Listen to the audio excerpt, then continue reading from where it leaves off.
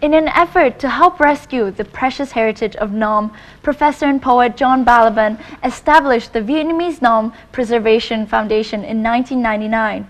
One important mission of the foundation is digitalizing the immense repository of the Nom writings and poems, still existing in historic documents, steles, and sculpture. Digitalizing Nom documents discovered at the Nghiem Pagoda is a striking example of the achievements of the Nom Foundation.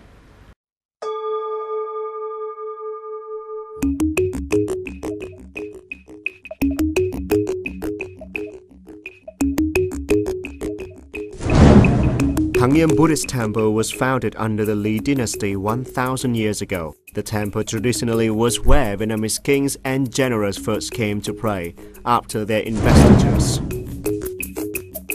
It is one of the oldest Buddhist temples in Vietnam. Thang Buddhist Temple has a rich and very Han Nom heritage. Experts say they are the records of the culture, history, and Buddhist beliefs of Vietnamese people hundreds of years ago. For example, these cravings mean a leopard cannot change its spots. They refer to the Buddhist belief that the nature of living things remains the same, despite their physical and conscious changes.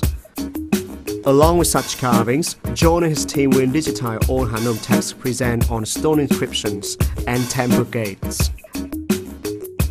Và xét thấy rằng đây là ngôi chùa cổ mà có tính lịch sử lâu dài từ thời Lý và đặc biệt hơn nữa là ngôi chùa này có nhiều loại hình, nhiều loại hình di sản Hán Nôm khác nhau, trong đó có thư tịch, rồi có câu đối chữ nôm, hoành phi chữ nôm, rồi các cái hệ thống câu đối, rồi có văn bia và một số các cái ờ, hình ảnh ờ, quang cảnh của chùa rất là đẹp cho nên chúng tôi quyết định là làm thử thí điểm một ngôi chùa này xem là nó sẽ cái mức độ thành công nó như thế nào. Thich Minh Thanh, the head of the Thang Buddhist Temple, thinks that the project will result in a model for preserving other such sites of historical and cultural importance in Vietnam. Khi mà chúng tôi gặp cái nhân duyên được ông Ron Banaban tới và đề xuất thì chúng tôi thấy nó rất là phù hợp. Vì cái này nó cũng thứ nhất là nó bảo tồn được cái văn hóa vật thể của người Việt. Và thứ hai là à, những cái văn hóa này sẽ không cứ là chỉ có một cái ngôi chùa hay một cái địa phương hay chỉ những cái nhà nghiên cứu ở Việt Nam mà cả thế giới những người quan tâm đến chữ nôm của Việt Nam có thể nghiên cứu nó và biết được cái văn hóa của người Việt.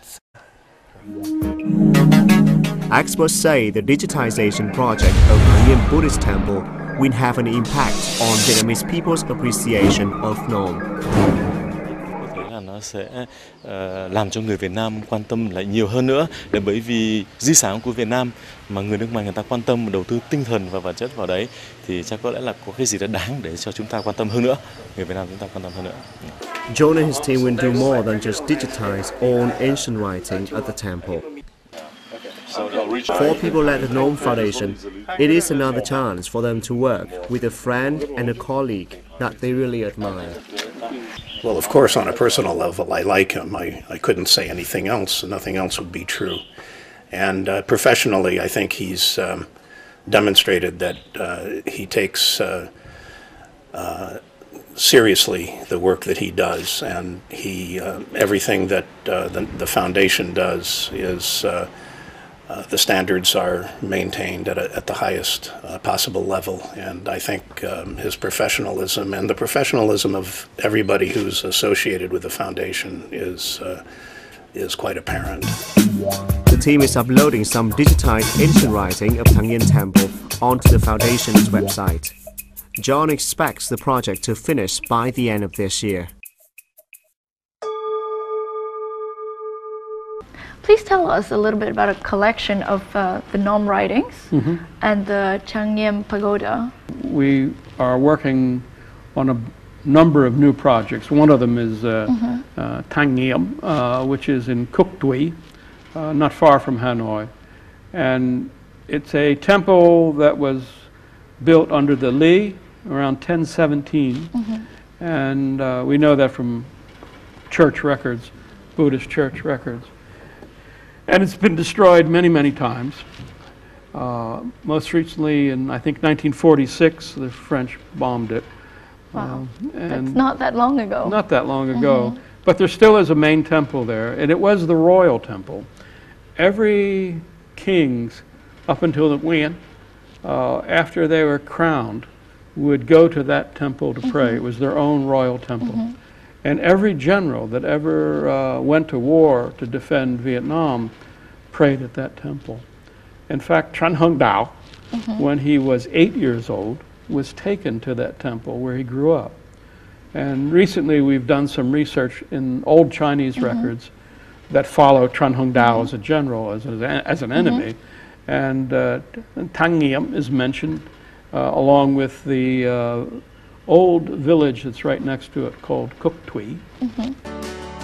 The Balaban Award is conferred annually by the Vietnamese Nom Preservation Foundation to individuals or groups of individuals who have contributed significantly to furthering the vision of the foundation, that is, to preserve the 1,000-year heritage of the Nom script and old Nom documents.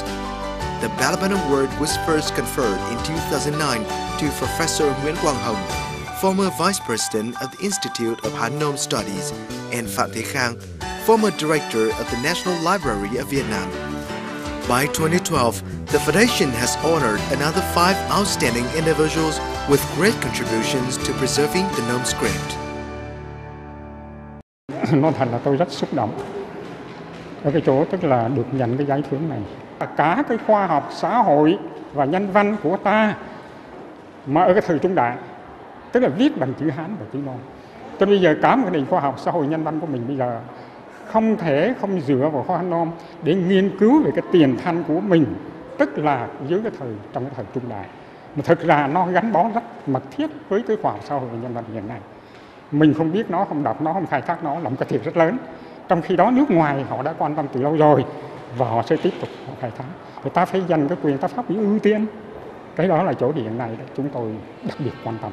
Thì được nhận một cái giải thưởng mà do cái hội bảo tồn di sản chữ nôm của Mỹ trao tặng thì đây là một cái phần thưởng mang tính chất là khuyến khích và động viên đối với những người làm việc ờ, uh, cũng như chúng tôi. Đấy thì chúng tôi thấy rằng là uh, những cái khuyến khích như vậy là hết sức cần thiết đối với chuyên ngành hẹp là hán nôm cũng như là đối với những cái ngành khoa học xã hội và nhân văn.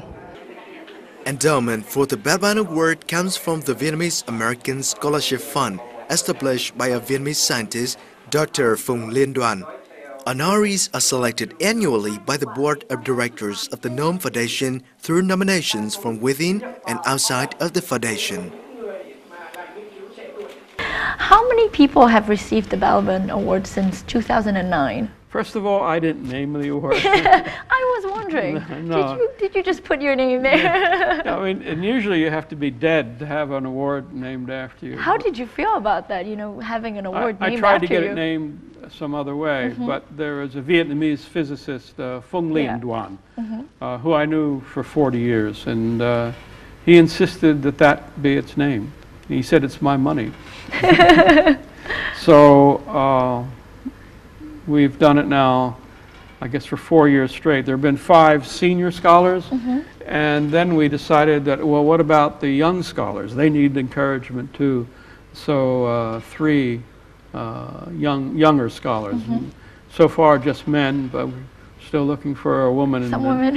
uh, who uh, can receive that award Yeah. too. One year we gave uh, one to Professor Nguyen uh, Quang Hong, uh, very distinguished Nom scholar, and also to the head of the National Library, Mr. Pham The Khang, uh, because he was the first person to open a library to the world, to Yeah. digitization. The, um, the habit in Vietnam uh, is to keep everything inside Yes. and only allow a few people to look at it. Uh, our view is that we should be as open as possible, that this is everybody's cultural heritage, even outside of Vietnam, and that it should be shared. Ho Xuan Huong has uh, brought me to an interest in Chu Nom, because that's what she wrote in. Um, and I learned enough through working on her book to want to see more. And of course, there is a long 1,000 year tradition of writing in Nom. And uh, most Vietnamese, much less the rest of the world, even know about it. Uh, so here is a great cultural heritage with beautiful poetry. Uh, Truyen Kieu is written Yes. in Nom. Uh, Nguyen Trai wrote Quoc Am Thi Tap in Nom. Uh, all sorts of uh, things were written in Nom that are important to the very heart of Vietnamese culture. And my guess is that most of the people on the street uh, can't read it, don't even recognize it, or when they see it, think it's Chinese. So that startled me, and with uh, two friends, or actually three friends, uh, one of them here in Hanoi, our vice president, Mr. Uh, Ngo Trung Viet, uh, we began this foundation to uh, digitize Nom. In other words, to make it accessible by computer and and uh, displayable. In other words, so that you could type in Nom, you could send Nom around the world. You could take a uh, text, uh, say a poem by Ho Xuan Huong, and you could look at some lines of it and compare them to other lines. In other words, to make it into a script like modern Vietnamese Yes. that can move around the world and you know, be accessible. And so our foundation was begun just a few months after this book came out. So we've been a foundation for 12 years. And we have different projects. One thing we did, maybe we're most proud of, is uh, uh, we digitized the Han Nom collection at the National Library of Vietnam. And if you look at these Nom and Han Nom uh, texts, you'll see them falling apart. I Yeah. mean, they're, they're, they're just decaying. They, and unless somebody does this kind of work, they'll be lost forever. They'll be lost. So one, we want to save them. Uh, two, we want to open access to them to everyone, but especially the young people in Vietnam. It belongs to them. It's their, it's their history and their heritage. On April the 11th, 2007, the Foundation signed a memorandum of understanding with the National Library of Vietnam in Hanoi to digitalize the library's collection of works written in Nom and Han scripts. The collection includes over 4,000 items in Han and Nom scripts, from wood blocks to manuscripts, maps, and other materials on paper.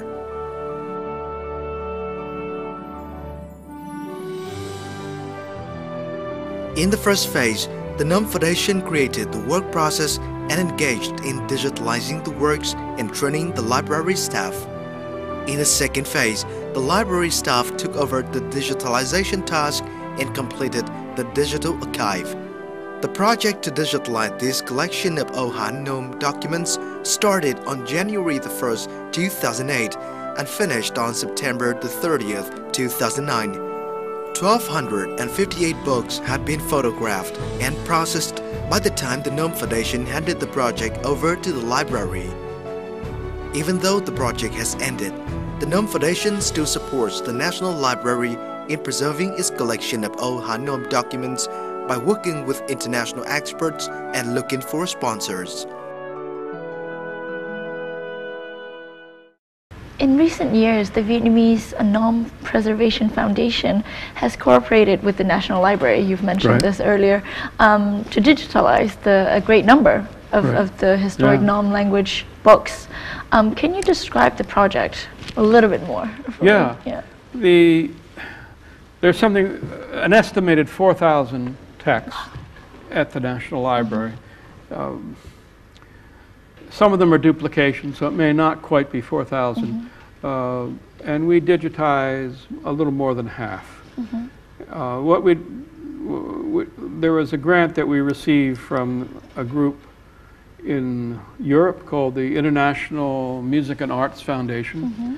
And then there was a grant from a group in California called the Chino Cienega Foundation. Mm-hmm. The two of them made it possible to hire people and train them to um, go to a manuscript. These are always, almost always ZAW paper, right? Mm-hmm. And, and we, at first, were afraid to even to touch them. But then a great conservationist from Cornell University, Yeah. John Dean, came, and you cut them apart. You put them on a special uh, photographic table where everything is measured very carefully. Uh, so you always have the correct focus distance from the page. Uh, and then um, take a picture, it's color monitored, it goes into the computer, and then you have an archival photograph. Yeah. And then the hard work begins to um, find all the metadata, when was it published, exactly how big it is, uh, is there an author, and what, you know, that, Wow. that sort of thing. And then the next step would be, which we haven't done, and that, that waits for somebody else, is to take one of those texts and to carry it and make it a searchable document. Uh, we've done that with uh, Nguyen Du's uh, Truyen Kieu. You go to our website and see five versions, and you can go into them. Yeah. And you, when we've done it, we put uh, Spring Essence up recently too. But none of that has been done yet at the National Library. Right now, it's a physical record of high, high quality. So, and uh, that meant four people working constantly. And when we left the project, because you know we the national we gave our equipment to the National Library and trained their staff to do the work. That's our idea, not to stay at any place, but to Spread the knowledge. spread the knowledge and if necessary, purchase the equipment and leave it so it can be used. Um, so since its birth, the NOM Foundation has done a lot of significant work um, to secure the treasures of the NOM scripts. Yes? What are the foundation's main programs in this area over the past uh, years, Uh, right? Well, we, as I said, we represent uh, Nom at the Ideographic Rapporteur Group of the ISO standard, Unicode standard. Uh, We've created a dictionary, and there- we're about to help with the publication of an even bigger dictionary. Um, We have a lookup tool uh, on our website, so if you can, it even answers in English. Needs to be better than it is, but it's still a beginning. Uh, So people all over the world, including scholars, are looking, using that lookup tool. There's a dictionary on our website as well. Uh, On our website, we have tried, to- we wanted to create an archive of important NOM works Yeah. like Tree and Keo, Luc Van Tien, uh, and other works. Uh, We digitize the uh, Dai Viet Chu Ki. We're only volunteers, all of whom have jobs doing something else, earning a living. Uh, We have three, sometimes four people who work for us on salary in Vietnam. But everybody on the board of directors volunteers their time and money. It's amazing. Hmm. So I can tell that it takes a lot of time and Yeah. effort to, and great devotion Yeah, to, to do yeah, this. Um, what obstacles does the Vietnamese Nom Language Foundation face in Money. realizing this? Money. this mission? Money, money. so Uh, we we, should encourage everyone that's watching. I mean, yeah, we're, we're, you can contribute through PayPal if you want, but, um, no, we, we could do a lot more if we yeah. had more people. And Yeah. to have more people, you'd have to have more money to pay them. Yeah. And finally, um, you know, for myself and I think for many um, in the audience here Yeah. today, um, what is it that drives an American professor, you know, to become so deeply involved and engaged in the preservation of the cultural um, Uh-huh. treasure like Vietnamese nom script? It's fascinating all by itself. I mean, in, in the U.S., people ask that question and they think it has something to do with the war. And obviously it does. I Mm-hmm. Yeah. probably would have gone on to do something else if there hadn't been a war. Yeah. Uh, But the war led me to a Vietnam that was beyond the war, a Vietnam that was deeper.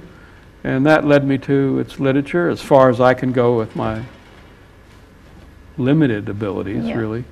Uh, But it's a fascinating study. Uh, And, you know, to have uh, some insight into something like that Yeah. and not do anything about it just would be peculiar and strange. yeah. It would be a waste. Be a waste, yeah. yeah. Well, I'm, I'm definitely grateful that you, you're Well, doing thanks. this. Well, this is Um, fun. myself as a young Vietnamese that's Mm-hmm. lived, you know, abroad, it's it's great to have this, Mm-hmm. you know, insight. You, you're kind of giving me a peek of what Vietnamese culture is about, and that's Good. great. Thank That's- you. Thank you so much, John Balaban, for this enlightening conversation. Um, I know that your affair with the Vietnamese folk poetry and Nom writings will continue. They will. Thank you.